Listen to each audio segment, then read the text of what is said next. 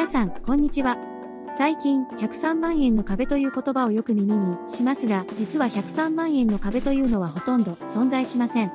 年収の壁の問題については誤解がかなりあり、報道や解説記事にも間違いやごまかしが随分と多いようですので、この問題について正確かつわかりやすく簡潔に解説してみたいと思います。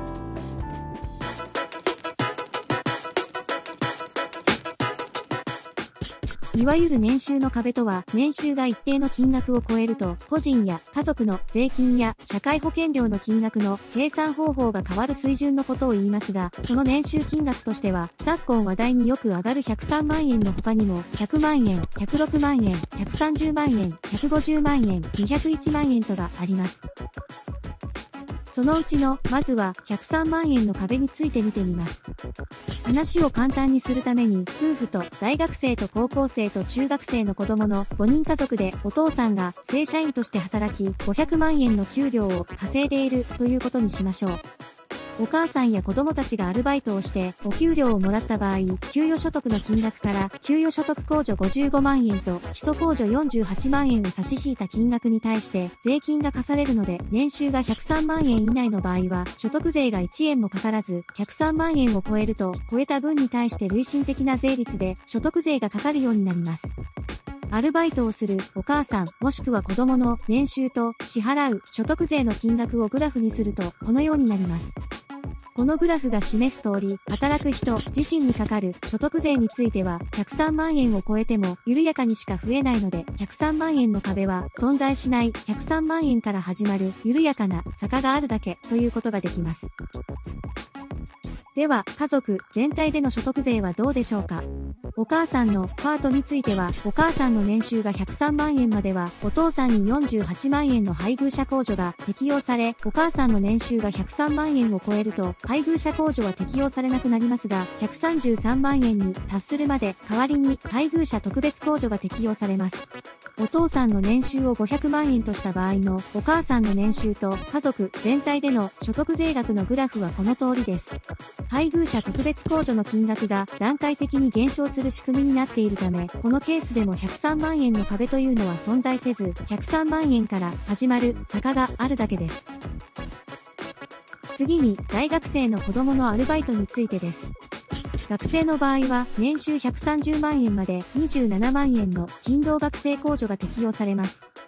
また、19歳以上23歳未満の場合は、特定扶養親族とされ、年収が103万円までなら、お父さんに63万円の控除が適用されます。これを同様にグラフにしてみると、年収が103万円のところで、家族の税金が階段のように垂直に増えていることがわかります。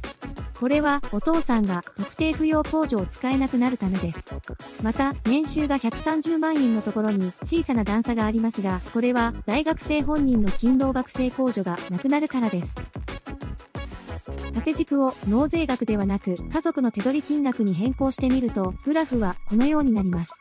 年収103万円のところで、グラフがわずかに下に折れ曲がっていますが、これではよく見えないので、年収の範囲を80万円から150万円に変更すると、この通りです。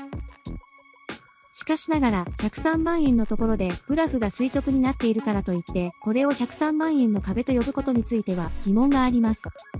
大学生の子供がアルバイトをするときに、お父さんの税金が多少増えることをそんなに気にするとは思えませんし、お父さんの方も働いてお金を稼ぎたいと思っている子供に、俺の税金が増えるからバイトするな、ということはあまりないのではないでしょうか。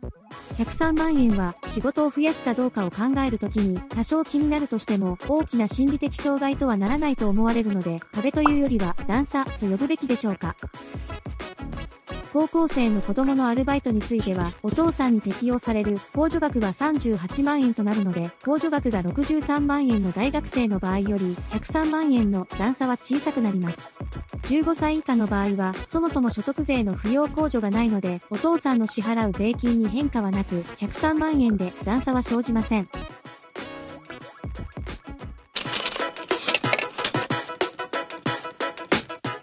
その他の年収の壁についても簡単に見ておきましょう。100万円の壁は住民税についてのものです。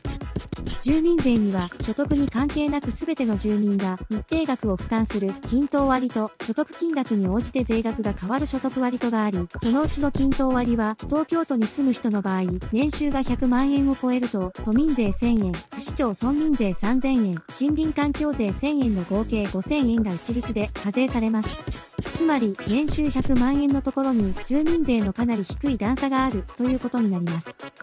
なお、所得割については、配偶者控除、配偶者特別控除、一般の扶養控除、特定扶養控除、勤労学生控除のいずれも適用される条件は、前の章で見た国の所得税の場合と同じなので、国の所得税と同じく住民税にも、配偶者については、103万円から始まる坂道があり、学生には103万円の段差があるということになります。以上の通り、税金に関連する年収の壁と呼ばれるものは、実は壁と言えるほどの大きな障害ではなく、せめて段差と呼ばれるべき程度のものなのですが、社会保険に関連するものについては、かなり話が異なります。先ほどの家族の例では、お母さんや子供の年収が130万円以下ならば、健康保険料の支払いは必要ありませんが、130万円を超えると、お父さんの社会保険の扶養から外れて、自分で健康保険の保険料を支払わなくてはならなくなります。お母さんについては、お父さんの扶養に入っていれば国民年金の保険料が0円ですが、130万円を超えると、年金保険料の支払いも新たに必要となります。お母さんの年収が130万円をわずかに超えただけで、勤務先の社会保険に加入する場合で、年間20万円程度、国民健康保険と国民年金保険に加入する場合で、年間30万円から35万円程度の支払いが生じます。年収130万円を少し超えると、手取り金額が大きく減ってしまうので、そこには大きな壁が存在すると言えます。社会保険の関係では106万円の壁というのもあります。従業員51人以上の企業で週20時間以上働く人などについては130万円ではなく106万円を超えると社会保険の支払いが必要となります。ただしこの106万円の壁については、一定の条件の下で106万円を超えたために、社会保険に加入した労働者1人当たり最大50万円の助成金が支給される制度などが創設されているので、壁の高さはやや低くなっています。以上をまとめてみると、この表のようになります。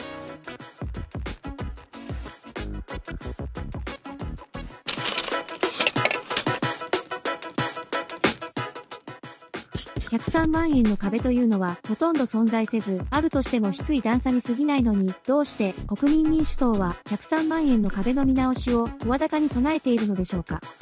これにより、日本の労働力不足の問題が緩和するかというと、年収103万円のところに段差があるのは19歳から22歳の人などに限られるし、お父さんの控除額が減るからといって、働く時間を増やすことを躊躇する若者がそんなにいるとも思えないので、労働供給に及ぼす影響はほとんどないでしょう。結局のところ、103万円の壁の見直しという政策は控除の金額の引き上げによる所得税減税だということができます。国民民主党が主張する103万円から178万円への引き上げが実現すると、所得税を納めているすべての人が課税所得を計算する上で、年収から差し引ける金額が増えることになるので、納税額が減ります。この表は年収ごとに納税額がどのくらい変化するかを示したものです。実際は控除の金額の引き上げに過ぎないのになぜ103万円の壁という言葉がそうも注目されているのでしょう。壁を壊すという言葉には大変革を思わせる響きがあります。その最たるものはベルリンの壁の崩壊でしょう。実際には存在しない壁を打ち壊すと言ってみせることで改革を行う政党であるという国民受けするイメージを作り出していると言っていいのかもしれません。また、年収103万円を超えるかどうかで小さくない影響があるのは19歳から22歳の若者の家庭なので8年前の成人年齢の引き下げにより新たに選挙権を持つことになった若者などに訴えやすく若者層の支持を取り込むのに有効な選挙公約だったということもできます。とはいえ、もう一度、年収ごとの減税額の表を見てみると、年収を得ている本人にとっては、年収の多い人ほど、減税額が大きいことがわかります。年収が少ない人は、もともと税金を払っていないのですから当たり前ですが、減税額はゼロです。つまり、若者向けの政策のように見えて、実は高所得者に嬉しい政策だということができるのです。その上、減税分は必ず何らかの方法で賄われなくてはなりませんが、例えば消費税の増税など、社会全体に広く負担を求める形で賄われるとすると、一層、高所得者に有利で、低所得者に厳しい政策となります。また先ほど見た通り、103万円の見直しが行われると、国の所得税だけでなく、地方の住民税も減税となります。国と違って地方自治体は減税分を他の収入で賄うということは簡単にできません。実際、地方自治体からは103万円の見直しに対する反対意見が出ているようです。103万円の壁を見直す政策についてもう一つ指摘しておきたい注意点があります。国民民主党は103万円を178万円に引き上げる根拠として、控除の金額が103万円となった平成7年から東京都の最低賃金が1.73倍になっていることを根拠としているようです。最低賃金が上がったのだから税金がかかる最低額もそれに比例して上げるべきという考え方です。ただ、基礎控除は必要最低限の生活費には税金を課さないという考え方で設けられているものですので、賃金より食料品や光熱費など生活に最低限必要なものの価格の上昇に比例して上がるべきものではないかとも言えます。その場合、178万円まで引き上げる必要はなく、130から140万円程度が妥当となります。